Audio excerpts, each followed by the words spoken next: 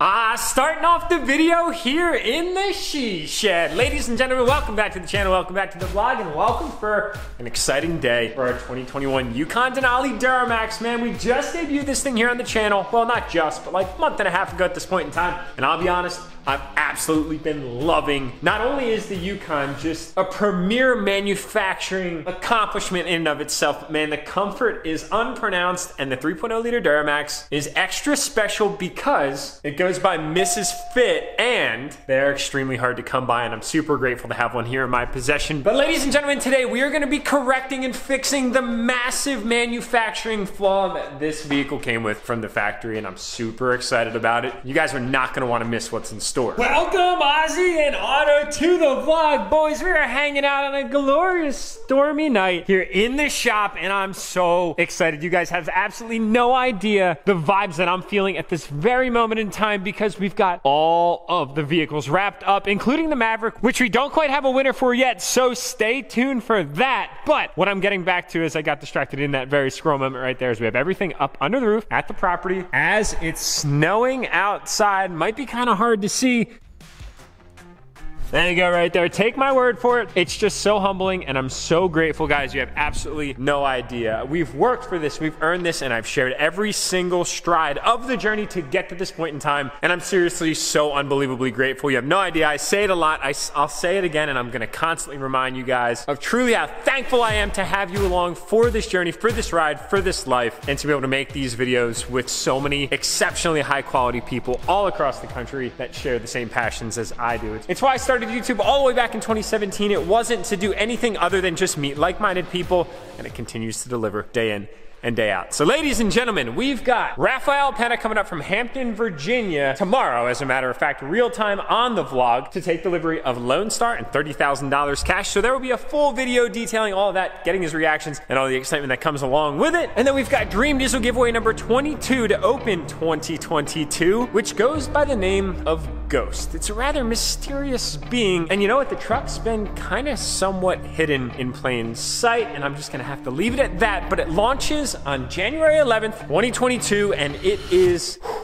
awesome. I'm just gonna put it that way to keep it light. You can speculate, you can question, you can guess all you'd like, and I'm curious to see who might get it right. Definitely mark your calendars because first week is a big bonus and it's the biggest one for the entire giveaway. So that brings us to the 2021 Yukon Denali. I made a video on this the other day talking about the five things that I hated. And hate is a strong word, but I'm gonna say disagreed with. And I got a lot of positive feedback on that. I'm glad that you guys enjoyed the video. It was fun to make it. And now we're gonna talk about the single biggest factory flaw on the 2021 Yukon Denali Duramax. Guys, we're talking a top trim truck right here without top trim features. We buy top trim trucks all the time and they're always fully equipped. But on the Yukon, GM, I'm kind of slightly disappointed, decided that it was an okay idea to offer a sub premium wheel. Now, the 20 is a common platform option because if you were to go across to, let's just say its brother, the Tahoe AT4 edition, you're gonna get factory 20s that are kind of similar looking. They just have a black and chrome style look to them, kind of like they come on the AT4s from the factory, except of course we changed them. So 20s, yes, makes sense for the off-road version, but I bought a Denali. I didn't really want an off-road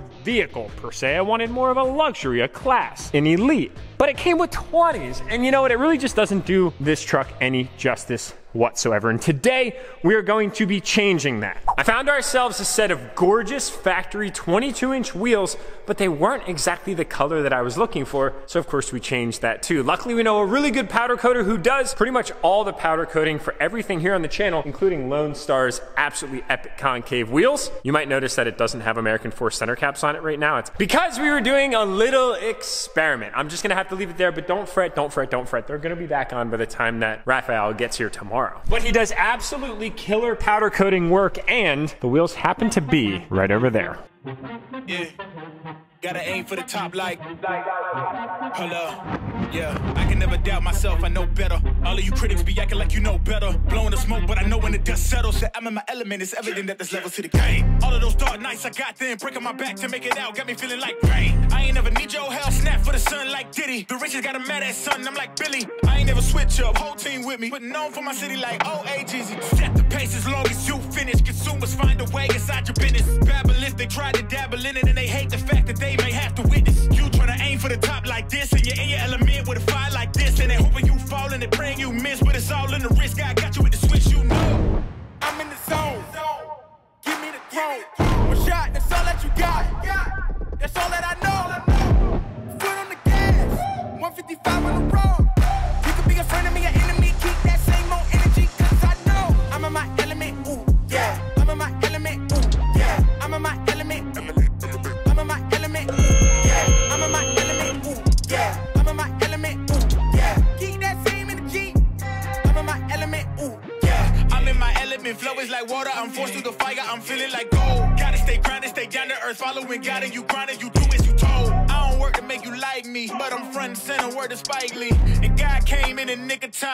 Think I'm crazy, but I might be. Let's run it up, run it up, run it up. We beating the odds just to sum it up. You know it's a rap, never waistlines, and I'm cutting the weight like a tummy tuck. That mean I'm about to give it out right now. You see what's coming down the line, I never pipe down. I give a hundred percent of me trying to stun on my enemies. In my element is crazy as the mic sound. I'm in the zone. Give me the throne. One shot,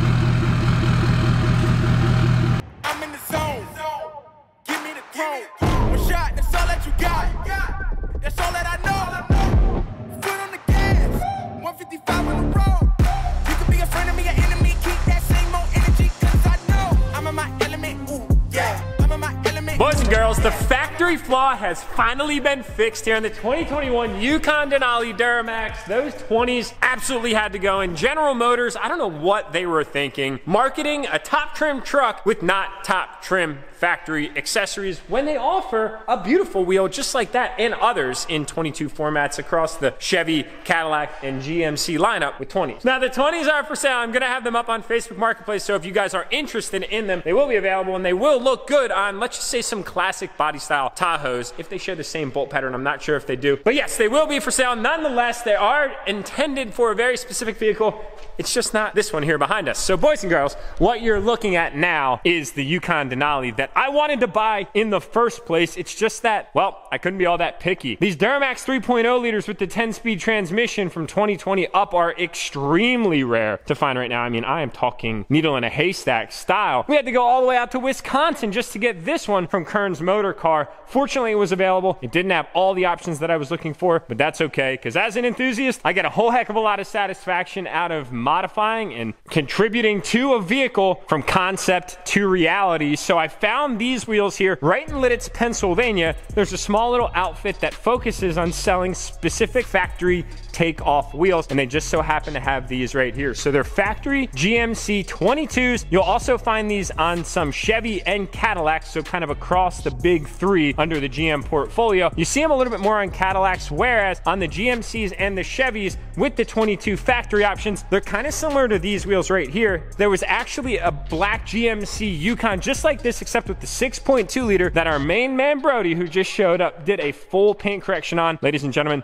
just a word of advice. Do not go through. Automatic car wash. Don't do it. Or you can do it because it's job security for that man right there. Your choice. I'm just warning you right here on the vlog. So he did that while he had that vehicle in the shop, of which he made look better than factory. I got to see these wheels in the 22 version black on a black Yukon. They looked great, but then I saw these. So these 20s from the factory are actually very similar to these 22s from the factory. Now what you'll see is these are just a little bit of a stubbier, shorter version. Let me get it up next to the other wheel here so you guys can see a side-by-side -side comparison of what I'm talking about. So the 22s obviously just look so much more glorious. They fill out the wheel wells and they're black. They complement the Onyx black that's on the truck. But the wheel is actually almost the same. It's just the 20 version versus the 22. It's a 12 spoke design. It's just that the 22s look more full and more appropriately sized for the Yukon. Now, the cool thing about this process was in my investigation, I found that these tires and these tires are the exact same size, except a 20 inch wheel versus a 22 inch wheel. And you might be asking yourself, Jack, why does that matter? They're factory tires. Well, that's exactly why it matters. This vehicle right here, 100% needs a spare, no questions asked. I make some exceptions on my personal trucks with wider wheels in case in point, but this one right here, I wanted to ensure that we maintain the factory spare usability. And we'll come to find out, the 20s have a 275 60 20 and the 22s have a 275 50 20. So the spare tire that comes factory with these vehicles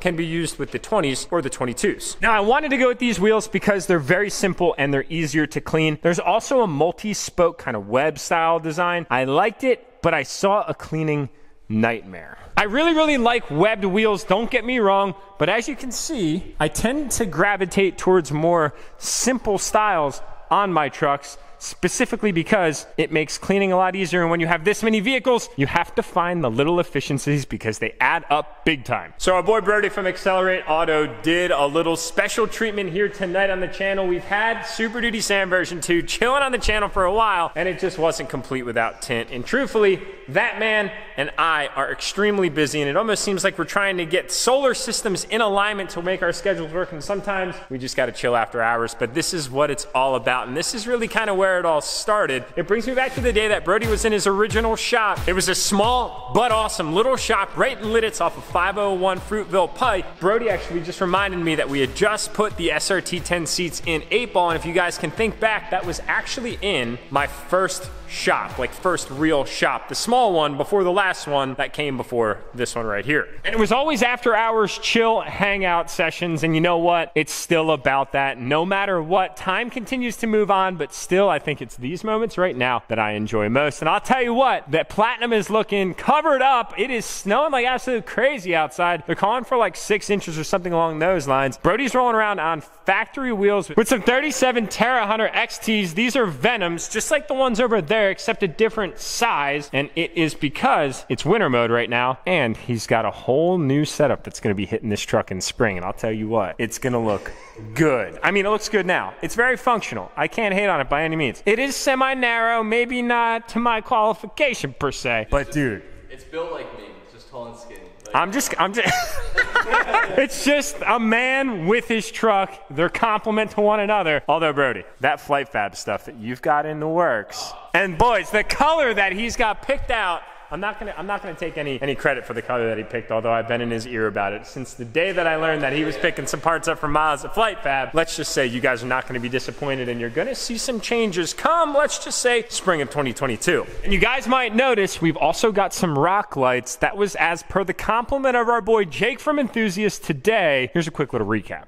Hey, what's up guys? I'm back. It's been Rocklight Central up here in uh, Enthuzst Headquarters 5.0. Last time you saw me, I was working on the AT4's Rocklight. Didn't have time to catch all the wiring on film. However, we got it all wired up and it looks absolutely amazing. AT4 is looking freaking sweet now. Just got to get these paint match parts back from Sean and this thing is going to be a new beast. But that being said, the AT4 is done, and the Ford's next on the chopping block. Now, I'm really excited to do the rock lights in the Ford because Efficiency Lighting Supply threw in a high output kit, which makes the lights that we've been using that much brighter. A little confused on how to wire it up at first. Gave John from Efficiency Lighting a call. He explained it super easy, way overcomplicating it. But this relay is gonna allow these lights to shine that much brighter on these trucks, and let me tell you, this Ford is a great candidate to do that too.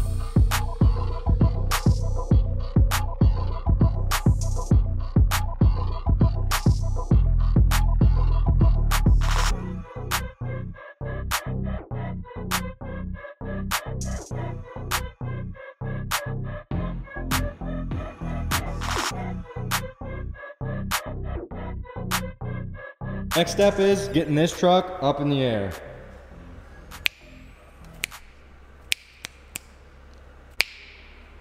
Nice.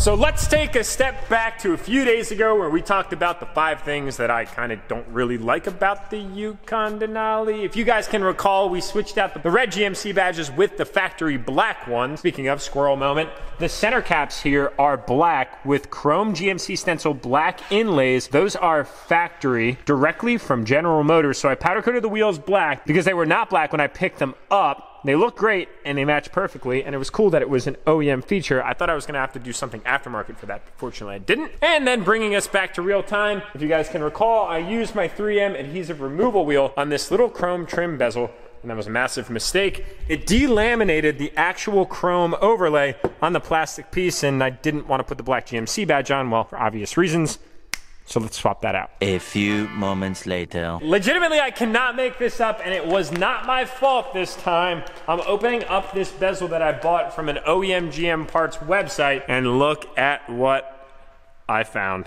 I can't even make this up. Look at that scratch. If it was smaller, I'd probably accept it, but in this instance, I'm gonna have to give the distributor a call, probably return this part. Fun fact, for anybody that's ever bought an OEM GM part, when you look at the shipping label, you're greeted with a bunch of information. Well, this is actually the label that I used to run all of the UAW employees that I used to supervise back in the day when I was working for General Motors. Now you're gonna see number 51 right there. That is actually the warehouse distribution center that this part came from. 51 is Martinsburg, West Virginia. If you saw 06, that would be the Philadelphia PDC, which stands for Parts Distribution Center. And that is actually where I started my career with General Motors back in the day. It's in Langhorne, Pennsylvania, and that's where it all began. Right here, you guys can see Martinsburg, West Virginia, that's plant 51. And then what happens is they'll actually run through the facilities based on pull numbers and routes. And it's a pretty interesting thing. Logistics in General Motors and all big companies at that are quite complex, but that's where I started. I was a UAW operations supervisor. I started in an inventory control role. That's kind of where I did more analytics. I was tasked with trying to improve operations in the building, inventory accuracy, and other things like that. And then I actually went to another role where I was uh, supervising more UAW employees, doing outbound shipping. That was a second shift role, and I'm gonna be completely honest, I was grateful for it, but it really sucked. I was working some ridiculous hours. It was like it was like 1 p.m. to 2:30 a.m. pretty much on average most days. And as I had said, I'm never gonna say I wish I didn't do it because if I didn't do it, I wouldn't be where I am today. And everything happens for a reason. Everybody has their own path. And truthfully, it taught me a lot.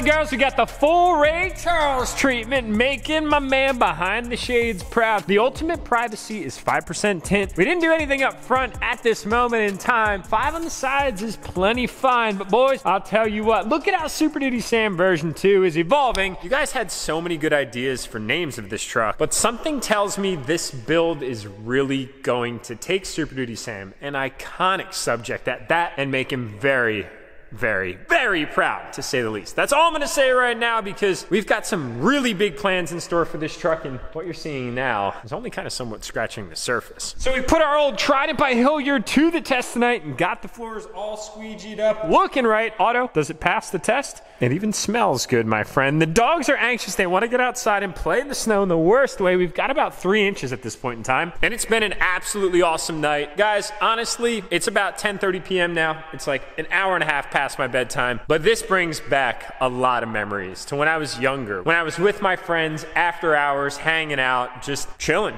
basically. And Brody and I were talking a little bit about how this is really where the automotive love and enjoyment and passion begins. It's the after hours nights hanging out with your dear friends. And truthfully, it's moments like this that make all of this stuff all the more worthwhile, kind of looking back and realizing what you can accomplish. And genuinely, it all stems from the love and the enjoyment of this right here, of being an enthusiast, of driving for that next mod, that goal, that build. And if anything, I said something to Brody tonight that I wanted to share with you guys. My goal with YouTube is to be a future version of you. I want to be an influence to drive you to do more in your life so you can get to where I am today, which I know you can. And I'm just here to help you visualize what it's going to look like when you get there. I don't know if that came out exactly right because genuinely, yes, there's all of this awesome stuff around me, but I never lose sight of what it took to start it all. And that was just hanging out with my father in the garage, realizing at that moment in time, there's nothing more that defines me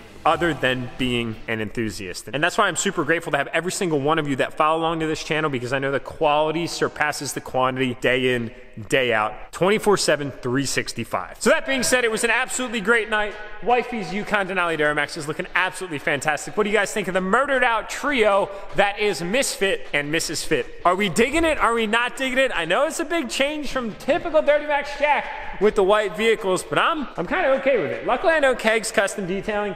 Otherwise, I'd probably have heart palpitations over the fact that I have two black vehicles as daily drivers in this household. But uh, it's a pretty sick combo. I'm not, I'm, I'm, I can not even lie. I can't even lie. I'm just gonna look past the fact that they're black and dirty. Stay on the lookout for Dream Diesel giveaway number 22 launching January 11, 2022. It's a big old surprise.